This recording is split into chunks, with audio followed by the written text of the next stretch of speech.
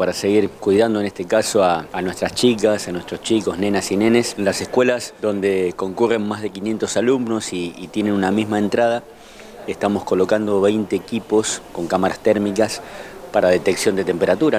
Esto tiene que ver con, conseguir cuidándonos y que los protocolos sean bien cumplidos. Le agradecemos a NUCTE, que es la, empresa que nos permite poder contar con estas, con estas 20 cámaras, con estos 20 equipos, para que los colegios de más de 500 matrículas y que ingresen por un solo lugar puedan contar con esta aparatología para la detección de temperatura. Los casos están bajando, estamos vacunando mucho por día, han llegado muchas vacunas. En Hurlingham ya estamos en más de 2.600 vecinas y vecinos que se están vacunando por día en los cuatro centros de vacunatorio, eso es muy importante. Más de un millón de módulos alimentarios entregados en estos 15 meses de pandemia y cuarentena con productos de primera calidad vinculados a la canasta básica alimentaria, todo lo vinculado a que, a que cada nena, que cada nene, que cada chica, cada chico que merendaba, desayunaba y almorzaba en los colegios, bueno, tenga este servicio que le brinda el gobierno de la provincia de Buenos Aires, el municipio de Hurlingham, a través del sistema alimentario escolar. Hoy estamos ofreciendo el sistema de cámara térmica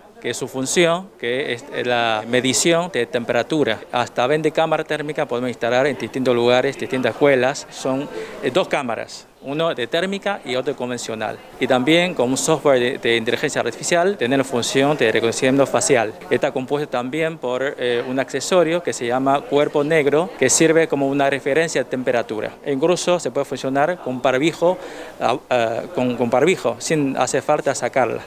Así que la ayuda a la autoridad para detectar más rápido, de forma sin contacto, para que la gente lleva fiebre que no puede eh, ingresar al colegio. Eso básicamente tiene esa función.